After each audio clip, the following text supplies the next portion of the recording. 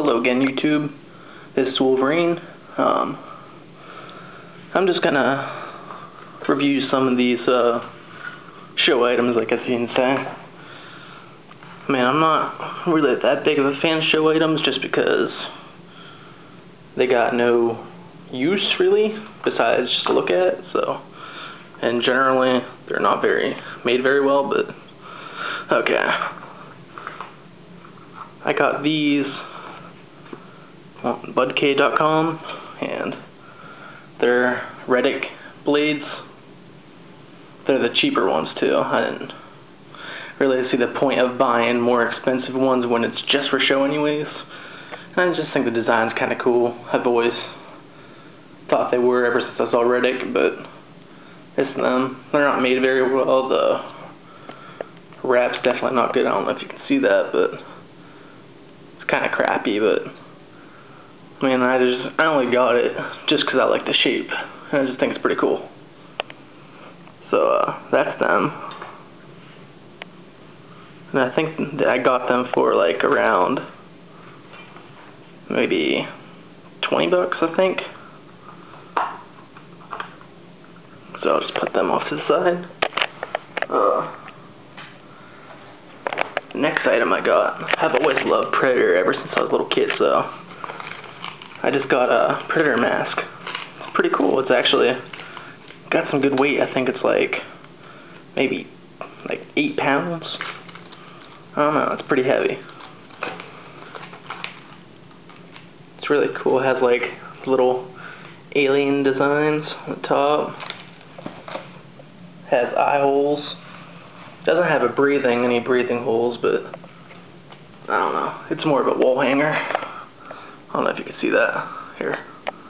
See it? It's like a wall hanger, but it also does have straps that you could strap it to your head, but I tried that and it just it, it weighs so much that it doesn't really want to stay on your head. So I mean, it's just a pretty cool showpiece. I like it.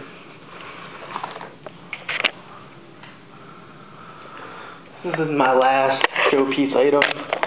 It's a mini katana kind of cool. It's supposed to be a letter opener. I got this in a surprise bag off of Bud K. Just came with, I'm pretty sure it comes with all of them to be honest. I watched a couple on YouTube and they all had something like this, but I got a pretty cool one. Favorite color is black and red, so I was pretty happy. It has a little sheath. Made out of plastic, but still pretty cool. Okay, goodbye YouTube. Oh wait, wait, wait, wait, never mind. I forgot I have two more show items.